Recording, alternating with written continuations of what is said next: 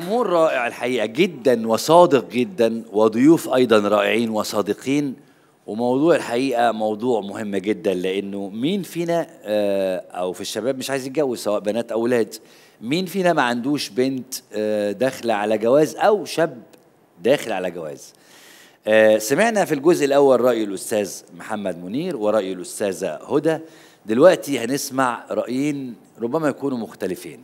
خلونا نبدأ بفضيلة الشيخ سلامة عبد القوي. شيخ سلامة بس قبل ما تقوم عشان أبقى أنا مش شايف مش عارف حل يعني. أنت مع صالونات ولا حب؟ أنا مع الحب طبعا. كده اتفضل على طول من غير ما تستأذن. اتفضل يا فندم. مع حضرتك خمس دقايق تقنعنا بوجهة نظرك أو رأيك. بسم الله الرحمن الرحيم. أنا عايز بس أسأل الناس بتوع صالونات في حد فيكم بيعمل حاجة ما بيحبهاش؟ يعني أي شيء بنعمله لازم نحبه صح؟ سلام. أي أكلة بناكلها لازم نحبها. كويس؟ أي لبس بنلبسه لازم نحبه. أي مشوار بنروحه لازم نحبه. طب شخص بقى يبقى شريك حياتي طول عمري أحبه ولا أتجوزه عمياني كده؟ يعني اذا ده بديهيات. إحنا عندنا إشكالية حقيقية لازم نعترف بيها. والإشكالية هنا اللي فرضها علينا موضوع الحلقة. إحنا بنتكلم في اتجاه ملوش علاقة بالآخر. هل الزواج حب ولا صالونات؟ دي ملهاش علاقة بدي خالص. القياس مختلف تماما. الصالونات شيء والتعارف شيء وكذا لكن في الآخر الحب قاسم مشترك بين الجميع. لازم يكون في حب. يعني مثلا أنا هتعرف على واحدة عندي عاطفة ناحيتها. العاطفة دي اللي ربنا سبحانه وتعالى قال عليها فانكحوا ما طاب لكم. ما طاب لكم. طب مش عجبان أنا؟ طب أنت مالك أنت؟ هي طابت له. طب هي مش عاجب مش هو مش عاجبني أنا. طب أنا مالي؟ هو طاب لها. هم عاجبين بعض. إحنا مالنا إحنا؟ عاجبين بعض دي يعني إيه؟ يعني حصل تعارف لأن الإنسان عدو ما يجهل. هو في جواز في الدنيا كده؟ هاتولي مثال يا بتوع الصالونات.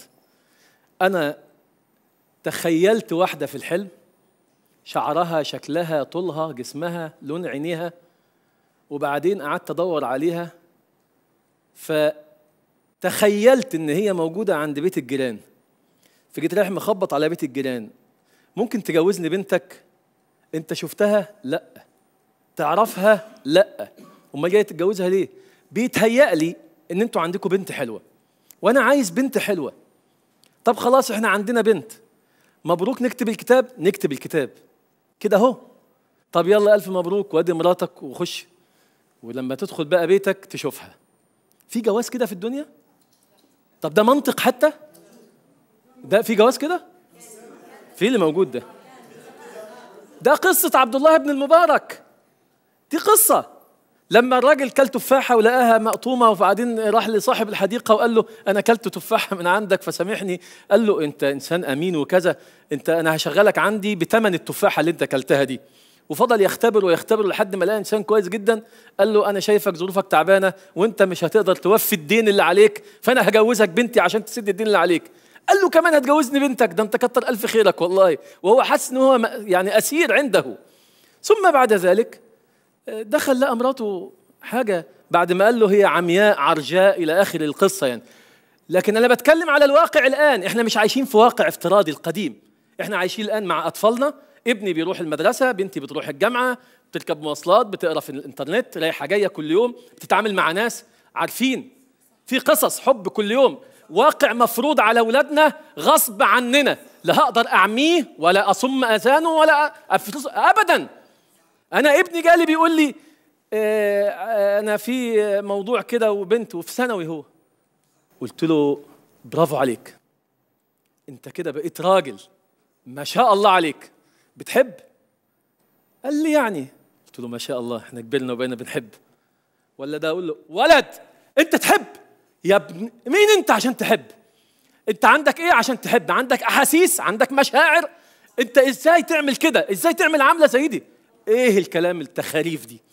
لازم انزل لمستوى ابني واقول له برافو عليك.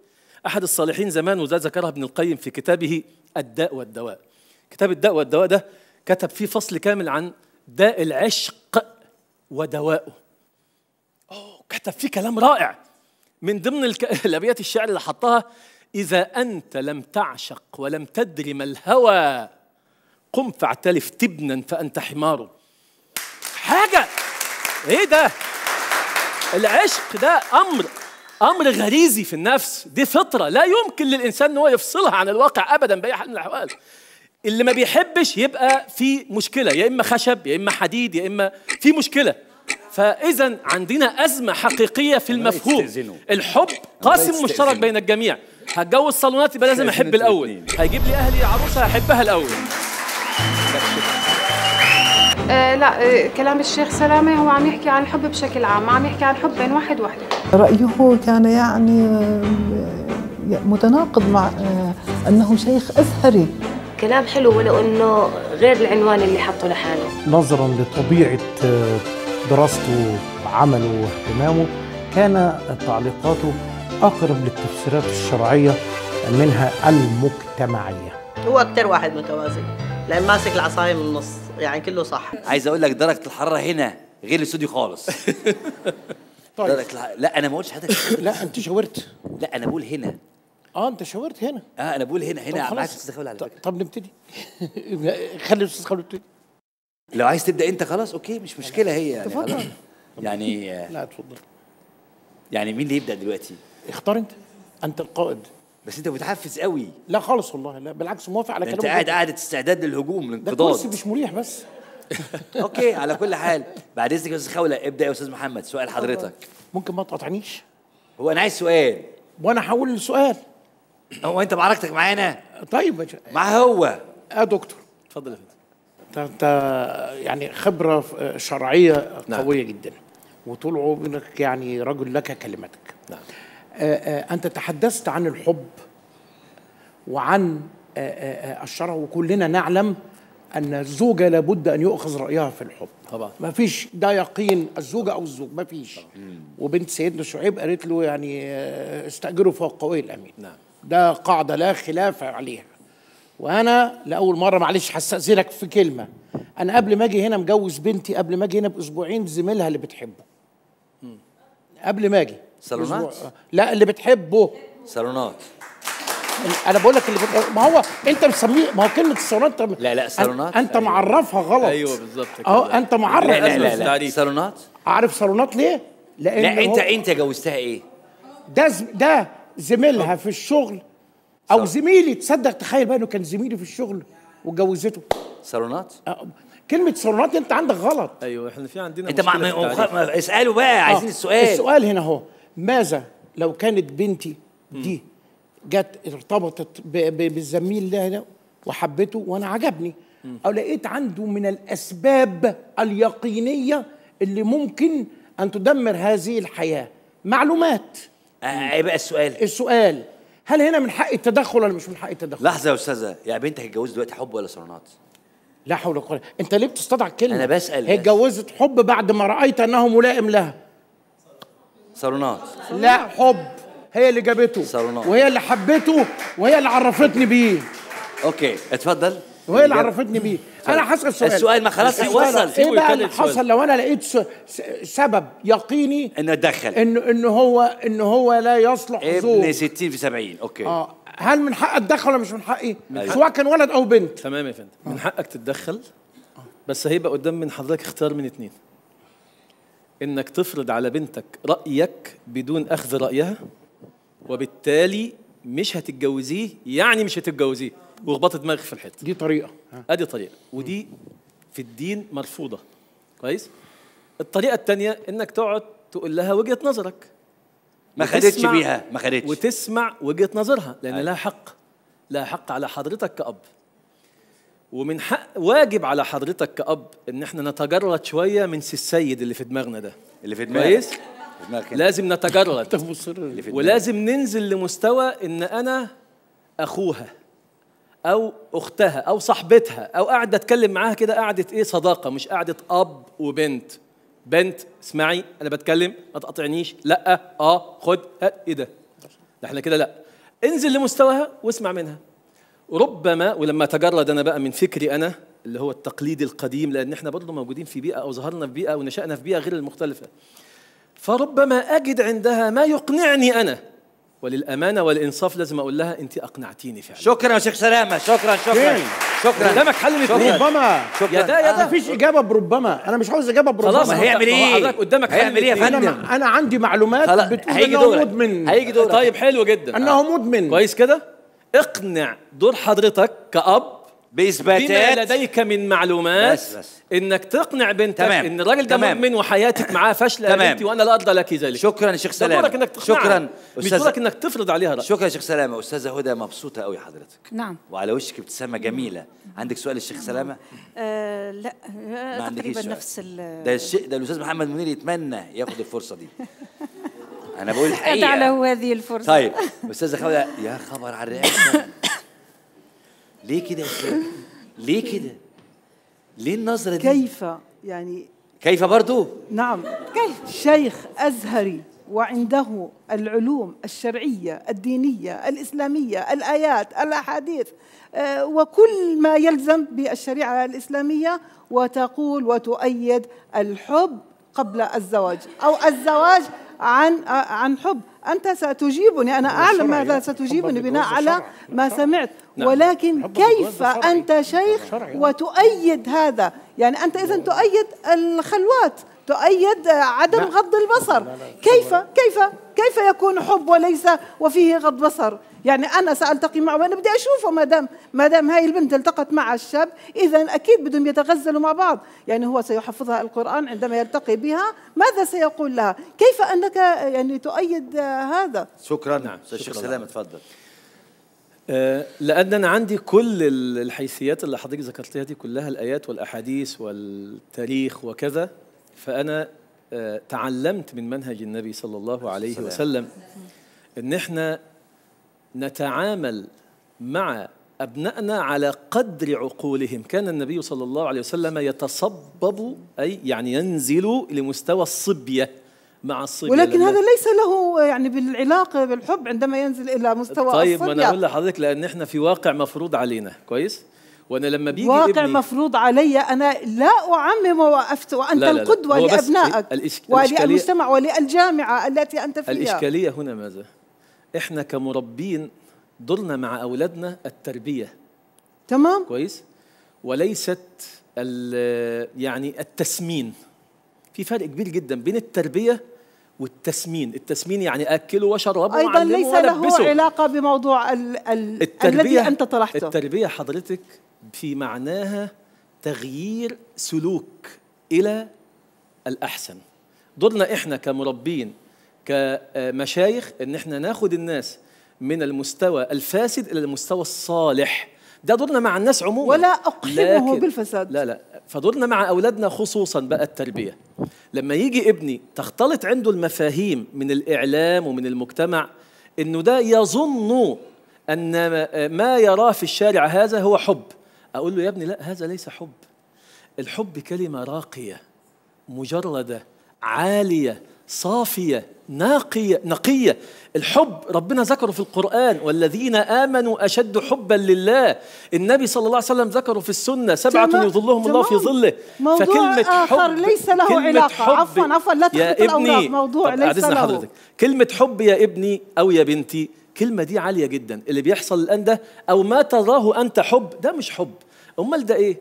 ده سميه ما شئت. لكن لو العلاقة تمادت هذا دخل في إطار الحرام. الخلوات وما شابه ذلك. ده حرام يا ابني. ده حرام. دوري أي بقى. حب أي حب. عفوا أي حب. دوري هنا. أي حب يكون تحت بعيد عن الأضواء أكيد بده لا يكون ليه حضرتك فهمتي. ليه حضرتك حابسه الموضوع تمام إنه دخلوا الموضوع دخلوا في الضلمة زواج عن حب معلش، وأنا معلش، عندما جاء. ابني وقال لي أنا أحب أنت أصبحت رجلا طبعا و... عنده؟ فطرة. اذا هو عنده سيت... قلب. كيف هقول هو لحضرتك كيف. سيتمادى في حبه هقول لحضرتك كيف. سيخلو بها في ماذا تقولي. لابنك؟ هو أنا هسأل هو حضرتك سؤال. سوف لا يغض طب أنا هسأل بصره، حضرتك هو سؤال. سيكون مبني لحظة. على معصية هسأل. طب لا, لا إحنا كده إحنا أنا كده هناخد حلقة بينك عند- وبينه بس خلينا نلف لفة تانية آه أستاذ محمد عندك سؤال تاني الاستاذ اتفضل هتخيل أيوه إني سألتك لا والله. وأنا تخيل إني اجابتك وأنا تخيل إني اجابتك قول تخيلت إني اجابتك خلاص. هتخيل إني سألتك سؤال وجاوبته وهسال سؤال بناء عليه. إن أنا بقول لك إيه يا عم اللخبطة دي؟ ما أنا هو هو فهمت آه طيب. ليه الأبناء بيروحوا لأبائهم بيقولوا له أنا حبيت؟ هترد عليا تقول لي لأن إحنا أكثر خبرة وبنديهم خبراتنا فبيلجأوا لنا. نعم. هم بيجوا لنا عشان إحنا أكثر خبرة. اذا إحنا نمتلك من الخبرة ما نرى ما لا يراه ابنائنا صحيح. جميل جدا ف... ودايما لأكثر خبرة لابد أن تلاصق أو تواكب خبرته درجة من درجات السلطة مش زي قانون الطوارئ عندنا اطلاقا لا ما بقولش آه، ده أنت عشان له بقى من الاجابه آه. اللي فاتت لا اطلاقا مش زي قانون الطوارئ ولكن لابد أن تكون درجة من درجات السلطة السؤال بقى. بدليل أن هناك حد معلش بدليل أن هناك الس- حد الس- السؤال. السؤال بقى آه. اما أنت بتلخبطني ما. تلخبطنيش معلش،. السؤال بقى أنه في حالة بما أملكه من خبرة وسلطة لم يقتنع ابني أو بنتي بما رأيته من أسباب يقينية بأنه سيضل في حياته وتكون حياته بائسة. هل يحق لي أن أتدخل بنسبة من السلطة الاستثنائية؟ لحظة. ولا ما يحق. لحظة أنا نفسي أسأل سؤال. إيه النسبة دي بقى؟ السلطة الاستثنائيه الاستثناء دائما موجود إيه، لا بس عشان هو هيجاوب مش أنا اللي هجاوب نعم. إيه النسبة اللي حضرتك تقصدها اللي هو اللي هو في لحظة عندما أجد ابني مثلا مثلا أو بنتي أو لا خليها ابني خليها ابني بنتي. الج- رايح يتجوز واحدة عندي معلومات يقينية إنها عن منحرفة. أخلاقها أو آه. منحرفة حلو. يقينية إيه بقى النسبة؟ هو زي ما قلنا الحب اعمى النسبة إن أنا أقول له مش هتتجوزها آه، السؤال رد حضرتك اتفضل اولا حضرتك بتقول إن هو رايح يتجوز رغم إن حضرتك بديت الافتراض على إنه جاي الأول بيناقشك. هو جاي ياخد موافقتي. آه في فرق مش يناقشني. في في فرق ياخد بين موافقتي ياخد الشرعية. في فرق ما بين إن هو جاي بيعلم حضرتك وافقت أو ما وافقتش فبيعلمك. كويس؟ وافقت أو ما وافقتش هو مكمل في طريقه. وفرق بين إن هو جاي بياخد رأيك بيستأنس برأيك بحكم الخبرة اللي حضرتك بدأت بيها كلامك. فده مسار وده مسار مختلف تماما. قلت له رايي وأصر على وجهة نظري. آه إذا كان في الحالة الثانية اللي هو بيعلم حضرتك بس. قال لي هتوبها آه. كويس. يعني بي خلاص. بيعلم. كلم حاجة حلوة قوي هو آه، حلو مجرد. ده إذا كان يقدر. آه. إذا مجرد إعلام صح؟ لا. في فرق بين جاي ياخد الشرعية وبين أيوه ما هو. مجرد إعلام يعني, يعني. وأنا قلت له لا. طيب وبعدين. آه. في الحالة دي الحالة الثانية دي برضه لازم حضرتك حاجة قدامك حاجة من اتنين. يا تفقد ابنك ده للأبد لأنه عاطفته في اللحظة دي أقوى من عقله. آه. وأنت حضرتك لازم تفهم كده كويس قوي بالظبط. ابنك الآن تقوده عاطفته. ده صح. وانت موافق. حضرتك بحكم الخبرة لازم تاخد بالك انت بتشد الحصان ولا اللجام في ايد مين؟ في ايده ولا في إيدك؟ آه. هيقطم بقه ولا معاك انت؟ فانت لازم تكون ال ال ال اوعى تفقد ابنك. حتى لو هيمشي ورا عاطفته يمشي تحت ال control بتاعك انت. فامامك خيار من اتنين يا إما حضرتك تقول له لن تبني ولا اعرفك لا مش وكده كده هيمشي ورا عاطفته لأنه خلاص مرايه الحب عامية زي ما حضرتك بدأت اللقاء. أو إنك خليها under control ماشي يا ابني موافق. ربنا يبارك لك. وحفلتك ومهرك وحياتك وبيتك وشقتك وكل أوضاعك مع الاعتبار إن أنا حاطط عيني بقى على إيه؟ النقطة. أول ما هلاقي ابني بيضيع من تحت إيدي أقول له يا ابني تعالى. يا حبيبي أوعى مش هسيبه بقى. لكن هنا بقى لازم إيه اللي, اللي هيفرض عليا الدور ده حضرتك؟ لازم نعترف بكده نحن الآباء.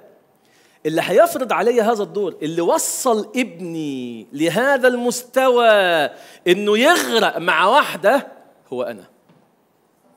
مش بالضرورة. هو تقصير مني أنا. المجتمع معقد. لا آه، لا بالظبط. أنا هرد لك بس أنا هدافع. عنك. هدافع عنك.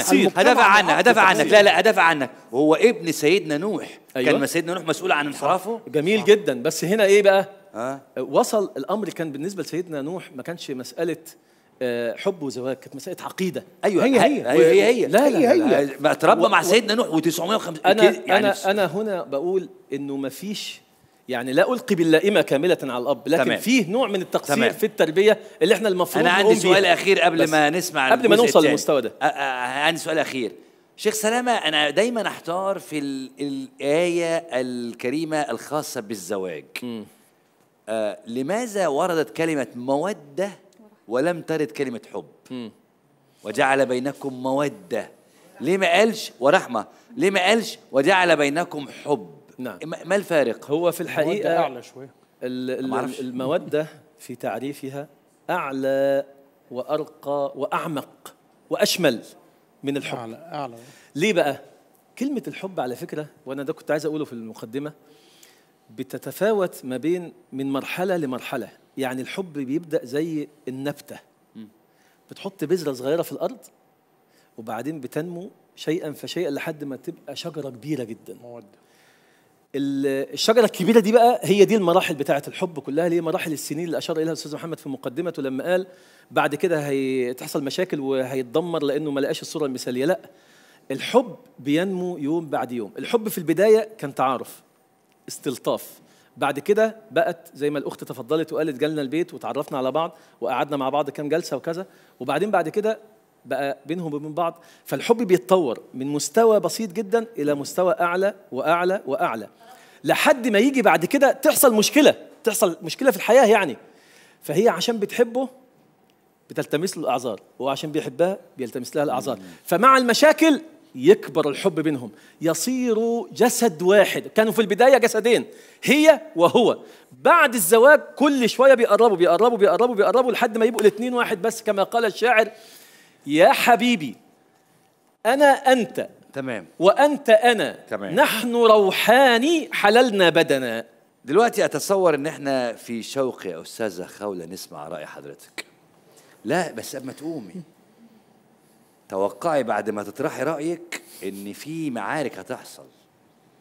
فأنت تستعدي يعني يعني قلت الرأي سهلة لكن النتيجة هي اللي صعبة. ليه الترهيب الاستباقي ده. أنا عجبني المصطلح بتاع حضرتك الترهيب الاستباقي. أستاذة خولة حضرتك جاهزه نعم. معاكي خمس دقايق نعم. اتفضلي. خوفها ليه؟ أيوه أيوه. اصلها هتاخد موقف منطقي جدا السلام عليكم. طبعا بعد ما سمعتم كل هذا أنا مع الزواج التقليدي وهو زواج الصالونات. أتكلم عن آه، الزواج هو البناء الاجتماعي القيمي الحضاري. لذا يجب أن يبنى هذا الزواج على قواعد صحيحة سليمة متينة بعيدة عن أي معصية. إذا الزواج التقليدي هو زواج لم يسبق لم يسبقه علاقة حب وهو الزواج القوي المتين وهو الزواج المبني على المنطق المبني على المنطق هذا الزواج. وفي مضمون هذا النوع من الزواج قيم وأخلاق تجعل المجتمع يتطور. بقيمه وأخلاقه.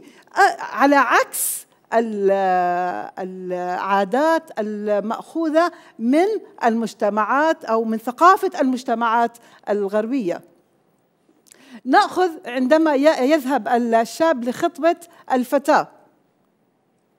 يذهب ويخطبها بأسلوبه بالأسلوب التقليدي أو زواج الصالونات وهو الزواج الشائع في بلداننا العربية والإسلامية. يكون لهما هدف واحد الاثنان وهو إنجاح الزواج ضمن أهداف مبنية على أرضية صلبة متينة وأيضا مبني على هدف إقامة روابط أسرية متينة. وأيضا مبنية على ثقة قوية. الزواج التقليدي فيه ثقة أكثر من زواج الحب أو العاطفة لأنه زواج عقلاني.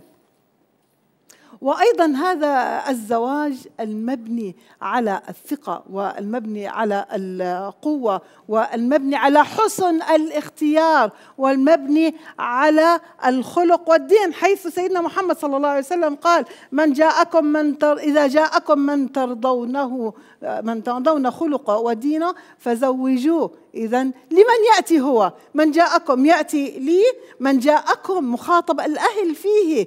إذا جاءكم من ترضونه خلقه ودينه فزوجوه. وإلا تكن فتنة يعني تكن فتنة في المجتمع ويضيع المجتمع بالعلاقات الجانبية بالعلاقات الأحادية بعيدة عن الأهل بعيدة عن استشارة الوالدين.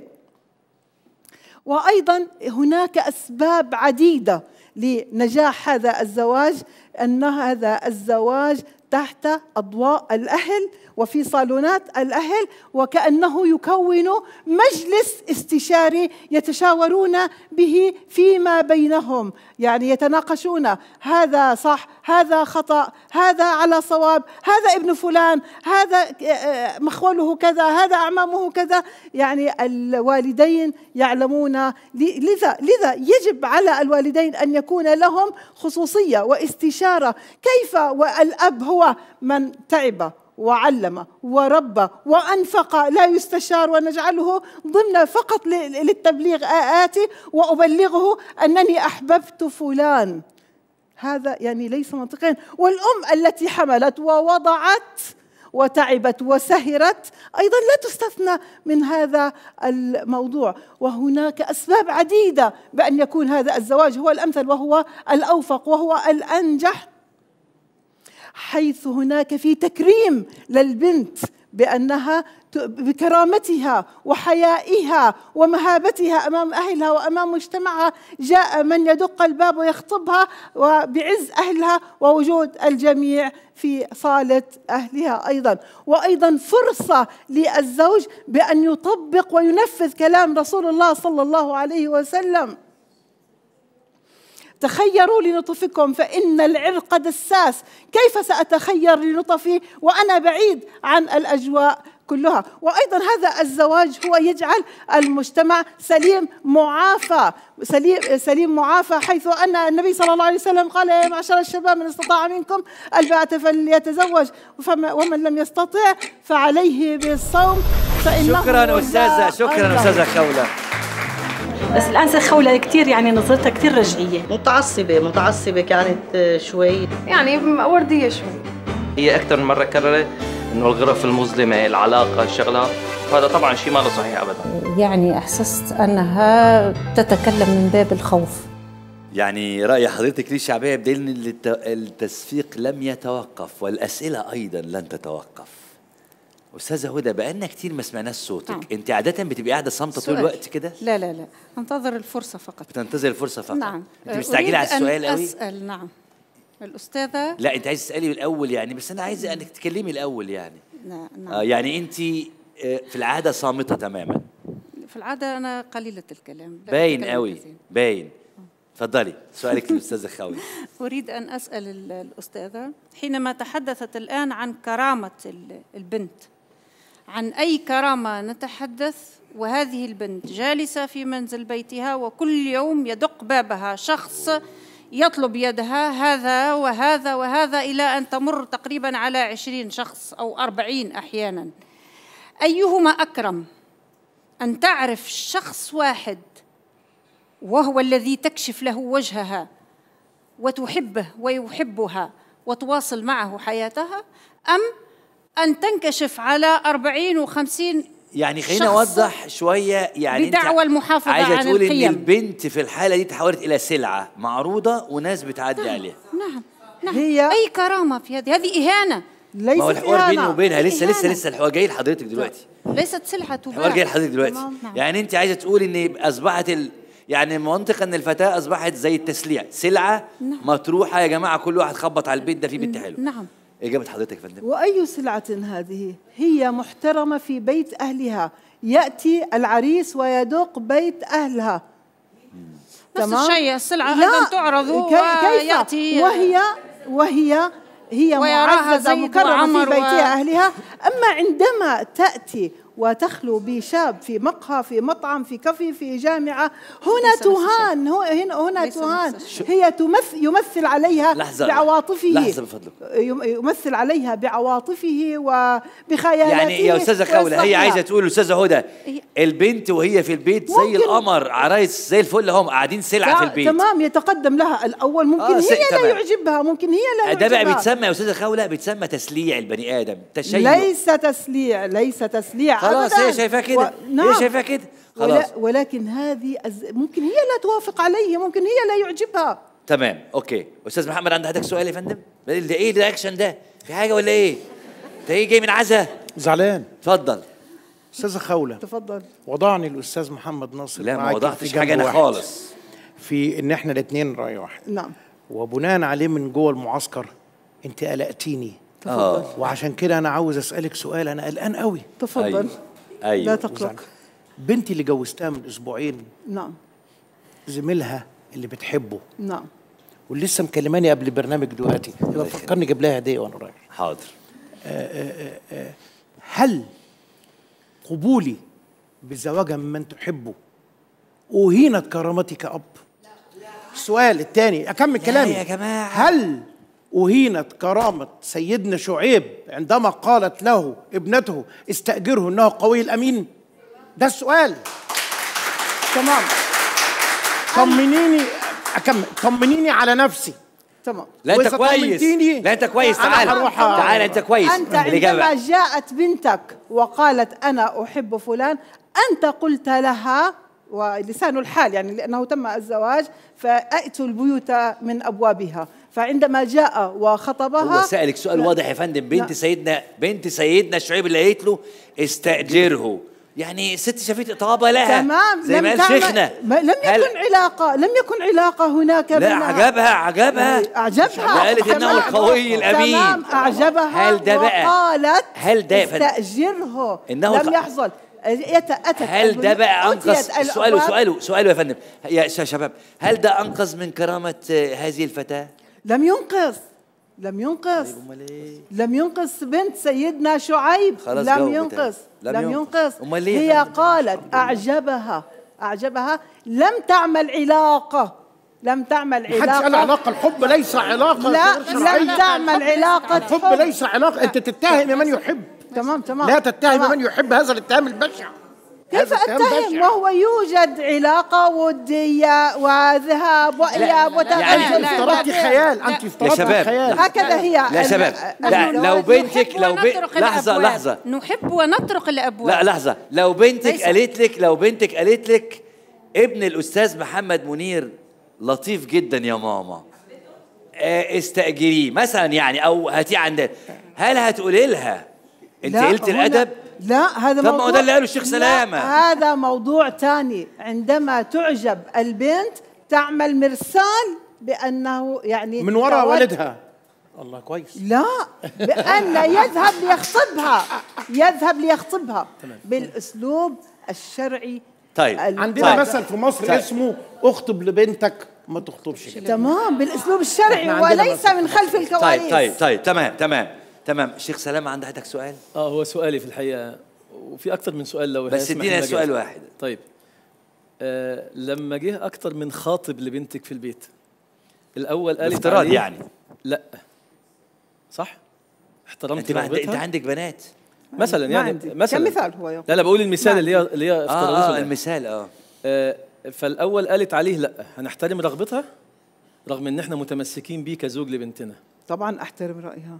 تحترمي رغبتها؟ البنت. أيوه. هي مش موافقة أنا جايبة له أنا جايبة لها ابن أختي. طب هتوافق عليه ليه غير بتحبه؟ كويس كده؟ أنا جايبة لها ابن أختي. فيا بنتي إيه رأيك؟ وجه قعد وشرب القهوة وقعد واتكلمنا مع بعض في قالت دور. العيلة. وبعد ما مشي قالت لا. أنا هفرض عليه؟ لا. عليها؟ لا. حضرتك هتفرض سيدنا عليها؟ محمد طب لحظة معلش. تمام تقدري تفرضي عليها؟ لا طبعا. ما في زواج غصب حرام ولا حلال إنك تفرضي عليها؟ طبعا لا يجوز أن نزوجها غصبا عنها. ممتاز جدا. طيب المثال الثاني. جه بقى واحد زميلها في الجامعة. مش ابن أختي ولا ابن أخويا ولا حد خالص. قالت لك في ضيف النهارده عايز يجي لنا البيت أو أي حاجة بقى تكلم باباها أو كذا وجالهم البيت. وبعد ما مشي الشاب ده إيه رأيك يا بنتي؟ قالت آه. حضرتك شايفة آه دي علاقة في الحرام ولا حب؟ عفوا لا تخلط ال- مش أنا اللي بخلط. الموضوع كله. مش أنا اللي عندما نقول هو الموضوع موضوع الحلقة واضح. حب زواج عن حب مسبق أيوة. أنا وزواج عندي سؤال. أنا عندي سؤال وهلف لفة تانية بس. عندي سؤال. آه، أستاذة خولة آه، بنتكلم على نسيم مرحلة اسمها الخطوبة. تمام. دلوقتي اتقدم للعروسة الحلوة دي شاب وزي بمواصفات حضرتك اللي هو جه من الباب هي لا شافته قبل كده ولا هو شافها. وصالونات على أبوه يعني. وهوب دخلت اتخطبوا مع بعض في الخطوبة. ما حبتوش ما حصلش حب. ما ليست الموقف مل- ليست مل... إذا لا يوجد توافق ويعني في لم الخطوبة تحبه، نزلوا واتقابلوا واتقعدوا واتكلموا وقعدوا وق- فترة. ممكن ممكن أن يحصل. يعني يعني لذا هناك الموقف هنا بقى.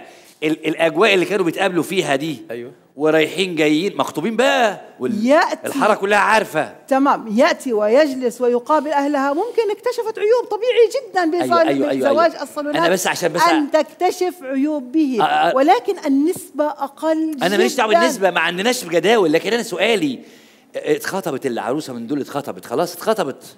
وفي ده دبلة. تمام. وخطيبها نازل دلوقتي آه يعني يعزمها في مطعم. هل ده متاح عند حضرتك ولا هيبقى حرام؟ خاطبين. حلو. خاطبين. راح وجا بقى خاطبين. بمطاعم الدنيا. وبعدين فشلوا. إيه بقى الموقف؟ ممكن ي- يتزوجوا ويفشلوا. السؤال الثاني عند حضرتك؟ السؤال الثاني أخير جامع شامل لكل المناقشة. يا دكتور خولة بعد إذن حضرتك. إذا أستاذة خولة إذا آه، حضرتك عندي دكتورة إذا آه، شاب حب شابه طوال المرحلة الجامعية أربع سنوات آه، ثم بعد التخرج ذهب إلى أهلها وخد خالته وخد أم البتعه جارتهم وخد جارتهم وراح خطبها. هل هذا زواج حب أم زواج هذا صالونات؟ زواج حب. ليس تقليدي. زواج له أربع سنوات عم بحبها. ما- ماليش دعوة أنا؟ أنا أبوها ما أعرفش. أنا في الآخر جالي واحد عن طريق أم خالتي أم بتعة وخالتي كذا وقال لي عاوز أتجوز. فلانة. يبقى جواز هي- حب ولا جواز صالونات؟ حب زواج حب. خلاص. يبقى هو الحب. هو زواج حب. نعم يعني لها أربع سنوات تحبه. طيب أستاذة هدى عند حضرتك سؤال؟ نعم. لحظة لحظة. هنجيلك دلوقتي يا مدام اتفضل. اتفضلي. أسأل الأستاذة هل يتعارض هل يتعارض الحب؟ لحظة لحظة يا هل شباب يتعارض الحب مع القيم ومع الأخلاق؟ هل؟ هل يتعارض الحب؟ كقيمة نعم. مع ال ال ال الأخلاق. يعني سؤالها هل واضح، الحب واضح، واضح. يتعارض مع القيم والأخلاق؟ الحب عندما أخلو بشاب تخلو الفتاة. هذا زنا اسمعوني، وليس اسمعوني. حب. ليس وليس اسمعوني. خلوة، يا ليس- جماعة يا جماعة. عندما يحبها ويدعوها إلى مطعم. عن ماذا سيتكلمون؟ الفاجر. لا يخ... الفاجر لا يدعوها إلى يخلون- مطعم. لا يخلون. لا يخلون. رجل بامرأة okay، okay، تمام. لا يخلون. رجل بامرأة وإن هذا الفاسق القرآن ابن زهير المهم المهم المهم تمام يعني هي شايفة كده آه شيخ سلام عند عندك سؤال آه بس هي الدكتورة في بداية بس الله يخليك سؤال سريع عشان نفضل جدا جدا في بداية حديثها عرفت الزواج وقالت إنه الأصل فيه إيه حضرتك ممكن تكرر التعريف بس سريعا هو بناء أيوة. اجتماعي أيوة. قيمي أيوة. حضاري أيوة. طيب، لذا يجب. أن يبنى أيوه على قواعد أيوه صحيحة أيوة. سليمة أيوة. بعيدة عن أيوة. أي معصية أنا بقول لحضرتك قدام الجمهور أنت أقنعتيني بتعريف الزواج كويس كده أيوه هل كل ده يبنى على حب ولا على جهل طيب خلاص شكرا لك. زي- زواج الصالونات على جهل بل على العكس هو الزواج يعني. الثقافي يعني على حب الزواج الصالونات يعني هو زواج الصالونات هو على حب. عندما توافق البنت على هذا أنا- الزوج أنا عندي- إذن هو شكراً، أنا عندي. سؤال. أنا عندي سؤال. متفقه معانا إنه الزواج لازم يكون على أنا. عندي سؤال قبل أستاذة خاوي الزواج من لحظة و- وجود. الخطيب في طيب. داخل بيت آه، أهلها طيب شيخ سلامة خلاص هو تعريف الحب بس طب خلاص مش مهم بس أنا خلينا عشان ننزل للجمهور عندي سؤال أخير لحضرتك ونشوف الانفوجراف ده تفضل آه آه بس يعني يعني أرجو إن إحنا بنتكلم في في موضوع علمي أنا ما أعرفش إزاي بس آه، حضرتك اتجوزتي عن حب ولا يعني عن جواز آه، تحية لزوجي محمد جودي أبو الصديق. ما شاء الله. وهو معنا موجود. أهلا بحضرتك. آه، سؤالي لحضرتك نعم هو زواج سألتني. آه، هو زواج تقليدي. تقليدي. زواج أنا صالونات. بسأل بشكل عام يا فندم مش نعم. بشكل خاص مع احترامي لكل السيدات والفتيات اللي موجودين هنا.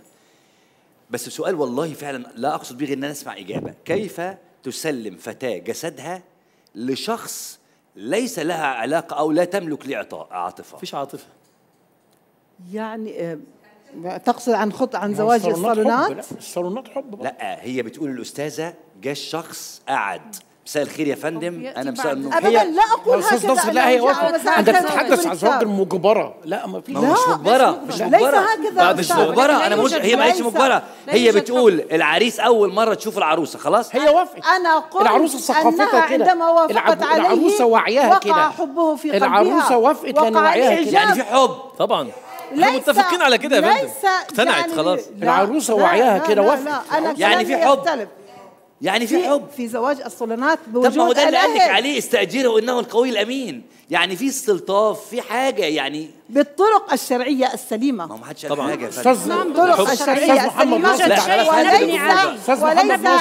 وليس بعد أن إذنك بس واحدة. هنزل علاقات الجمهور. خارجية حاجة واحدة بس. اتفضل سريع عشان انزل آه الجمهور حاجة واحدة بس اتفضل. آه، آه، في حاجة إحنا اغفلناها تمام هناك انسان أو انسان وعيه هو بيقرر ويوافق بمحض ارادته على زواج من غير حب آه ده آه وعيه كده. كده؟ وعيه كده. في كده فعلا؟ في آه. في.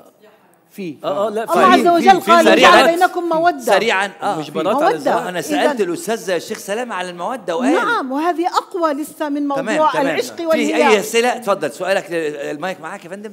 المايك؟ آه اتفضل. سؤالك لمين اسمك بس حضرتك. محمد نزار. آه، الحب ليس معيار لا لا محمد إيه؟ محمد نزار. اذا الحب. ليس معيار لنجاح الزواج. آه تمام. الحب ليس معيار لنجاح الزواج يعني حتى إنه الإنسان بعد فترة لو كان بيحب لازم يضحي كرمال الأهل. أكبر دليل إذا بنرجع 2000 سنة قصة سيدنا إبراهيم سيدنا إسماعيل. لما قال له اجى زاره أول مرة وقال له غير عتبة بيتك. لما سأل زوجته قال لها احكي لي عن آه، حياتكم شلون عايشين؟ تمام. فهي قعدت تحكي له إنه ما لها مرتاحة وما عم يصرف عليها وما هيك. فغير عتبه بيته طلق زوجته يعني لو أنت عايز ملخص رأيك أن الحب ليس معيار لنجاح الزواج. ليس معيار. ادي المايك للست اللي وراك. مدام حضرتك كان عندك كلام أنت في وسط الحلقة. تمام okay. على كل حال في حد عنده سؤال للأس- للأساتذة هنا؟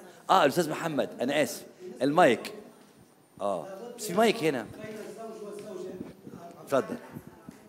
الحب هو لابد أن يكون ما بين الزوج والزوجة. فإذا كم لم يكن هناك حب بين الزوج والزوجة فيكون العلاقة بينهما علاقة متشنجة وعلاقة آه، مستعصية طبعاً. وعلاقة غير مريحة وسيئة طبعاً. وهذا ما لا نريده طبعاً. لأننا نخالف قول الله عز وجل ومن آياته أن خلق لكم من أزواج لكم أنفسكم. ومن آياته أن خلق لكم من أنفسكم أزواجا لتسكنوا إليها وجعل بينكم مودة ورحمة المودة والرحمة لا تكون بين زوجين متشاكسين أو مت- متنابذين. لكن يا أستاذ محمد رحلة الزواج بينك وبين الأستاذة خوله المستمرة وإن شاء الله تدوم ال- نعم. الرحلة دي هل ما كانش فيه في النص مثلا مراجعات؟ هل ما كانش فيه صدمات مثلا؟ هو مستحيل أن يكون زواج مدته 30 سنة وأزود من ذلك ألا يكون هناك بعض النكشات ولكن هذه الأمور بسيطة جدا. تمام. سرعان ما تزول.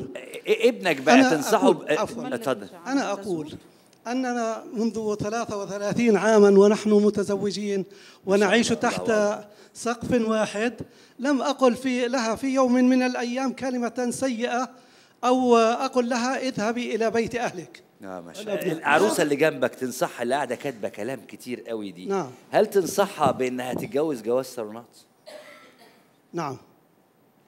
طب اديها المايك بعد إذنك. اقتنعتي؟ اقتنعتي؟ اقتنعتي بأن جواز الصالونات أفضل؟ لا. لا ابدا خالص. ابدا. بس عندي أسئلة للأستاذة حتى. لا هو سؤال واحد اخده منك سريعا عشان الوقت تمام. اتفضلي هلا أول شيء تعقيبا على كلام الأستاذ إنه بصراحة أسلوب اتخاذ القرار آه، الزواج عند الأولاد هو بيكون كتير مرجع أساسي للأهل. كيف بيتعاملوا؟ إذا الأهل رح يتقبلوا أنا بعرف أمي إنه إذا أنا رحت قلت لها أنا بحب هذا الشاب هي رح تسمعني ولا ما رح تسمعني؟ أيوة. إذا ما رح تسمعني ما رح روح أقول لها أصلا ولا رح أحكي لها القصة من البداية. آه. بس إذا عرفاني إنه هي رح تسمعني أنا إيه، يقينا. إني أنا رح روح أقول لها ورح أسمع نصايحها ورح ترشدني للطريق الصح. أما بكون بكفي بهالعلاقة أو لا لأنه بيرجع لطريقه وأسلوب الأهل. برافو عليكي. طيب في حد هنا حب في حد هنا حب و ولا طلش. لا وطال. الأستاذ. مش كده؟ في حد هنا عنده تجربة حب عن اتفضل امسك المايك. اسم حضرتك إيه؟ معاذ. مراتك جنبك ولا إيه؟ لا. هي أختي. يعني تقدر تحكي براحتك. أي طبعا. أكيد. مراتك بتقول؟ لا أختي. أخته. أنت جاي مع- مش جاي مع مراتك ليه؟ ما بتحبهاش؟ لا هي مش مراتي هي خطيبتي. خطيبتك مش جاي مع خطيبتك ليه؟ مش بسوريا لسه ما تجوزنا آه. إحنا صلنا ثلاث سنين تقريبا خاطبين بس هلا الظروف لسه ما سمحت إنه ما تطلع. بتشوفهاش؟ على الكاميرا بس. بقالك ثلاث سنين بتشوفها على الكاميرا بس؟ هاي آه. أمال إمتى حبيتها؟ أنا حبيتها تقريبا بالجامعة كنا كان اول من شيء كم سنة؟ حبيتها قبل ما أخطبها تقريبا سنة سنة وشوي. يعني من أربع سنين. يعني تقريبا. هي بنت الحتة زي راما ولا؟ لا لا أنا تعرفت عليها بالجامعة. معرفة قابلتها بسيطة. في الجامعة. معرفة هل بسيطه يجوز كان. ده فعلا؟ هل ده يجوز؟ ليش حتى ما يجوز؟ أنا ما غلطت معها ولا تعديت حدودي هي كانت مجرد زميلة بالأول. فصار في نوع من الإعجاب وصارت تتطور العلاقة شوي شوي. بس أنت عندك بنات تانية في الجامعة صح؟ إيه طبعا. إشمعنى اخترت دي؟ يعني أسلوبها شكلها حكيها تحس إنها قريبتك تفكيرها. تحس إنها طبعا. أمك تحس حاجة. يعني في حاجة ألفة بينك وبينها حصلت كده؟ أكيد.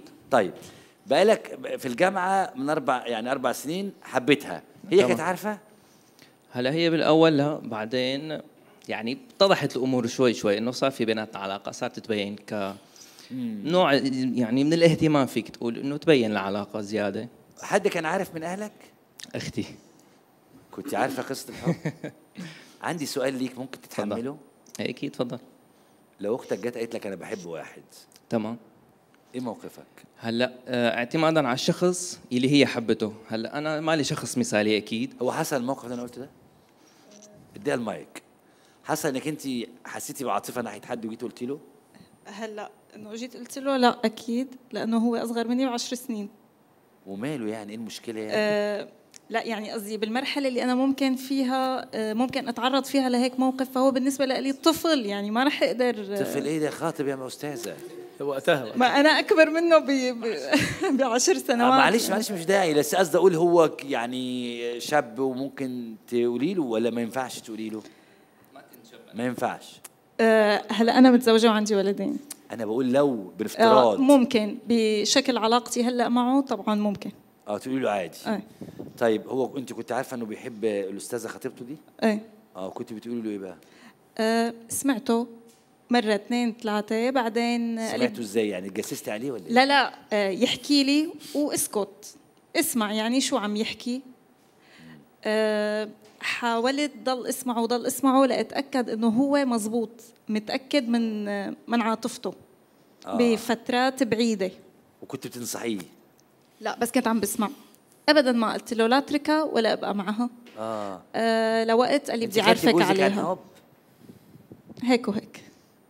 يعني هيك وهيك. يعني ما صار حب صار إنه آه إعجاب ومباشرة إعجاب فين؟ إعجاب من يعني شفتيه فين فإعجبتي بيه بالجامعة. برضه إيه. بس آه، مباشرة يعني صار الموضوع بالبيت والأهل آه يعني و- عجبتوا ببعض ثانية؟ يعني في لحظة رحتوا رايحين على البيت؟ لا لا لا. أمال إيه؟ كنتوا مستعجلين قوي. هلا أنا ما كنت أعرف. اتخطبتي كام سنة؟ آه، سنة ونص. آه وما كانش في حب في الوقت ده؟ بلا. بلا يعني موجود. إيه والله. جا منين بقى؟ جا منين حتة آه، لما هو آه، عرض علي فكرة الزواج مباشرة. عرض عليك انت؟ إيه. على طول. إيه قال لي قال لي إنه أنا شايفك من فترة طويلة.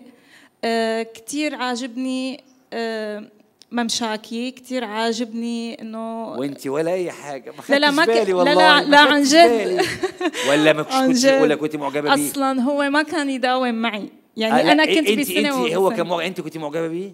لا ابدا. مالي شايفته أصلا. آه ما أنا قلت كده. إيه. ما أنا قلت. لا لا؟ لأنه هو لا أقنعك ليه؟ لأنه أنا كنت عم بدرس بسنه وهو بسنه ثانية مختلفة طيب تماما. يعني وبعدين في الآخر قال لك عايز أجي لك أتجوزك. إيه تمام. وبعدين؟ آه قلت له إيه؟ أصلا أنا كنت هيك كنت حابة. يعني كان أول مرة تشوفيه أو تاخدي بالك منه؟ إيه. ما كانش عندك مانع من الجواز؟ لا لأنه آه ارتحت للموضوع كتير. من أول لحظة؟ إيه عن جد. يعني جاء قال لك آه، هو اسم حضرتك إيه معلش؟ إيمان. إيمان. حتى ما كان بيعرف اسمي. ما كانش عارف اسمك. آه أوكي. قال لك إيمان أنا عايزه أجي أتجوزك. كده في وقفة. إنه آه إنه أنت كثير شخص بالنسبة لي عاجبني. وعاجبني شكلك تمام والله. بس أنا وضعي ما له مناسب. عايزه أجي إيه البيت بس أنا وضعي مو مناسب. رحت أنت قلت له تعالى؟ قام قال لي بتقبلي أنا وضعي آه، مثلا ما في شغل مستقر. فقلت له تعالى. قلت له إيه؟ فراح. إيه. فعمي عايز بنتك. إيه رأيك يا إيمان؟ والله موافقة. لا آه أمال سأل عنه بابا كثير كثير آه ماشي ماشي. كتير. المراحل دي ماشي. إيه. بس قصدي أقول انت وافقتي يعني. إيه وافقت. آه وبعدين حبيته. أنتوا بالكم كام سنة متجوزين؟ آه 11 كم 11 سنة. 11 سنة. مم. 11 سنة. إيه، حبيتيه إمتى؟ ولا ب... ولا لسه إعجاب لحد دلوقتي؟ لا. ممكن يكون إعجاب برضه. لا أكيد لا. يعني من وقت ما خطبنا آه آه صار في كتير تقارب. آه هلا بس بدي أقول شغلة أنا إنه الخطبة مو بالضرورة تكون الصورة الصح للشخصين. ما ده أكيد. إيه. طيب. عشان بس آه. أروح هنا. ال... ال... ال- الحب جه بعد قد إيه؟ أنا وخاطبني. أنا ومخطوبة آه. لإله. آه قبل ما تتجوزي أصلا بقى بدأت تحبيه.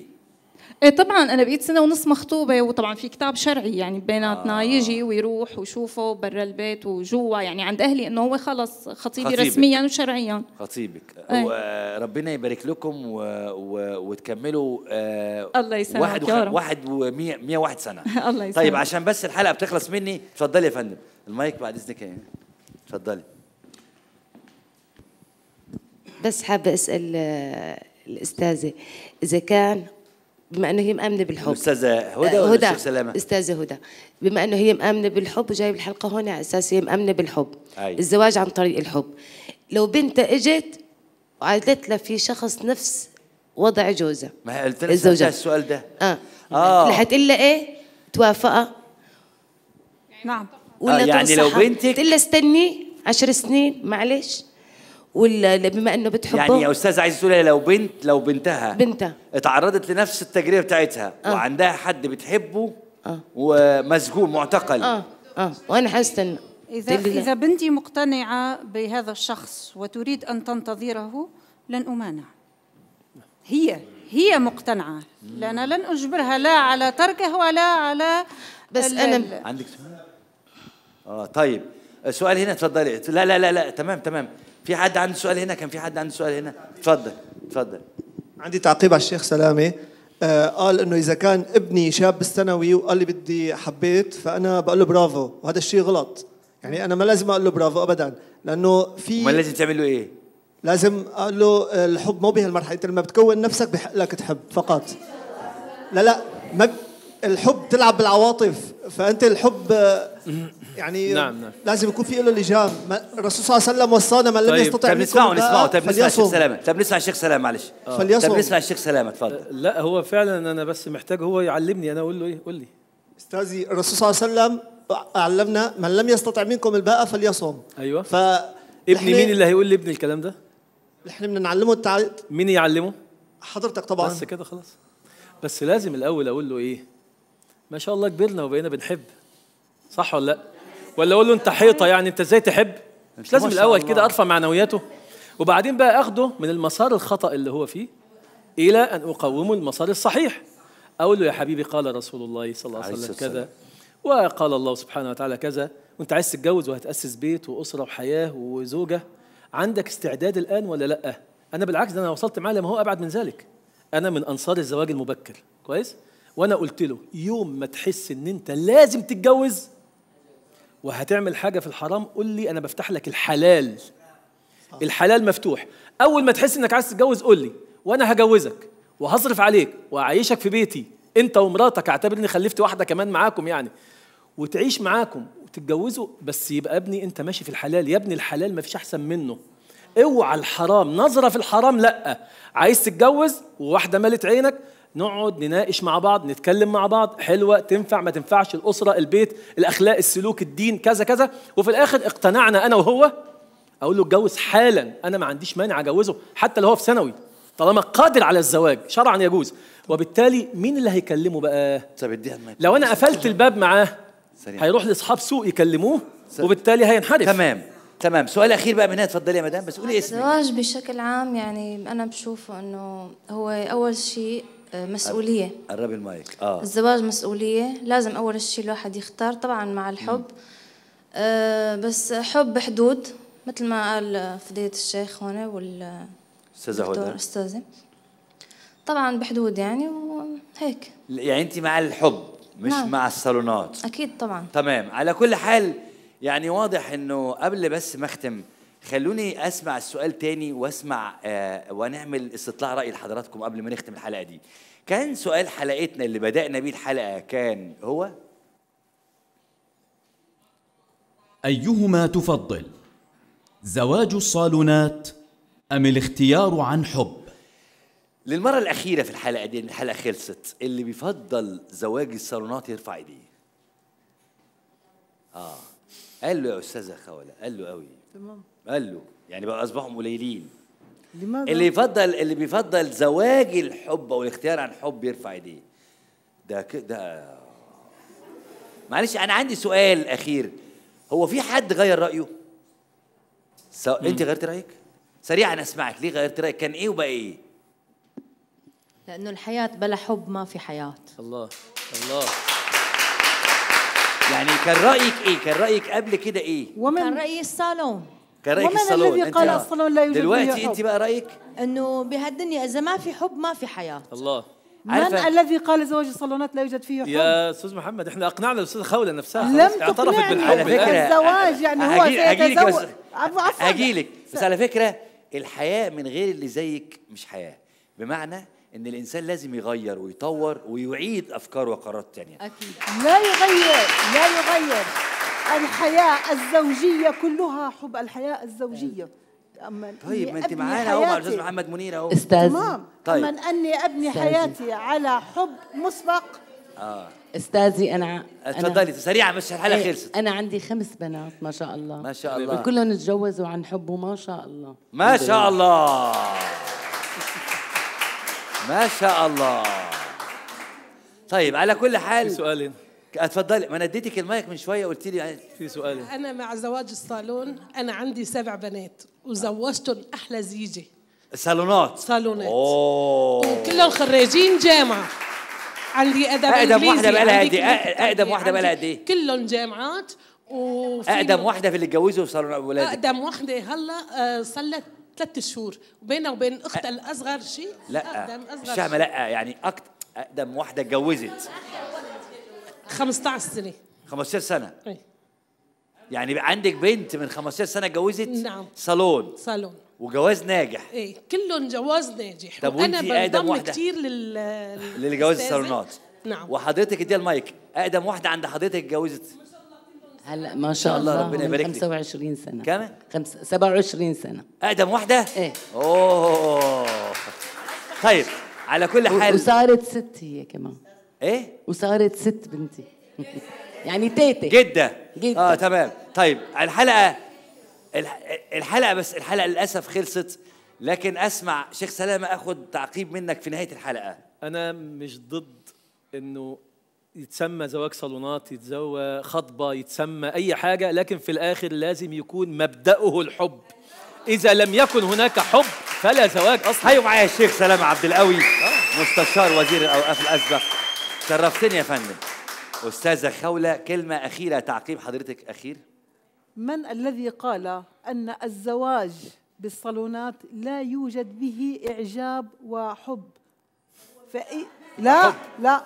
فأنا ضد الزواج آه، ال- الذي مبني على حب مسبق قبل أن يتقدم الخطيب لخطيبته. الأستاذ. من هنا من هنا يبدأ الحب عندما يصل الخطيب إلى بيت أهل البيت الفتاة فيحصل إعجاب ويؤدم بينهما. ومن هنا إذا ضمن الضوابط الشرعية التي أحلها الله عز وجل. حيوا معايا الأستاذة خولة الحساسنة مدربة تنمية بشرية أستاذة هدى كلمة أخيرة. نعم كلمة أخيرة. أنا آه، تحدث الفلاسفة عن أعلى مراتب الحب هو أن يحب الإنسان نفسه آه. أن يحب ذاته وبالتالي من خلال ذاته ينشر الحب على كل من حوله. بشكرك جدا أستاذة هدى المنصوري باحثة في قضايا المرأة العمدة الأستاذ محمد منير. تعقيب أو كلمة أخيرة ليك في آخر الحلقة تحدثنا في هذه الحلقة عن الحب وعن الزواج وعن الصالونات.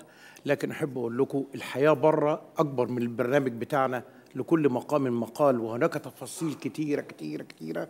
كل حالة لها ظروفها وكل حالة لها وضعها.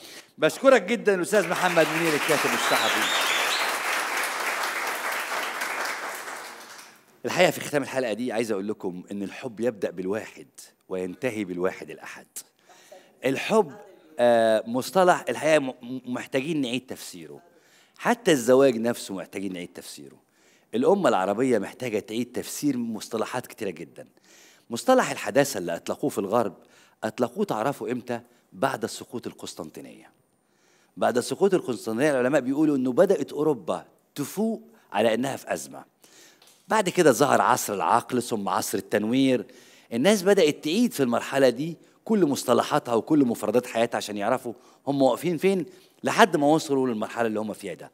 إحنا محتاجين نعيد الحقيقة تعريف مصطلحات الحب والزواج العشرة الخلفة التربية. مصطلحات كتير محتاجين نعيدها عشان تبقى حياتنا أفضل. دي كانت حلقة النهاردة. استنونا ولسه عندنا كلام كبير. بشكرك جدا جدا. نورتني والله. الحلقة والله حلوة وصافية كتير. حلقة كويسة وثرية جدا. وكان الضيوف والمعلقين من الشباب آه، كان متفاعلين مع القضية آه، تفاعل مهموم بيها. موضوع لازم لازم الواحد يحكي فيه ولازم الواحد يعرف شو شو له وشو عليه. هو أنا مش عارف يعني واضح إن كان فيه لبس في المفاهيم المفاهيم ما كانتش محددة. حلقة جدا ممتعة وكثير يعني كان فيها نواحي إيجابية. رائعة أنا شر... شر... يعني تفاجأت بإنه المستوى آه، عالي. جامدة جدا. وحلقة جامدة جدا. جدا. حلقة جميلة ورائعة. خالص. يعني وكنت أتمنى آه، ما تنتهيش الحلقة دي. بصراحة.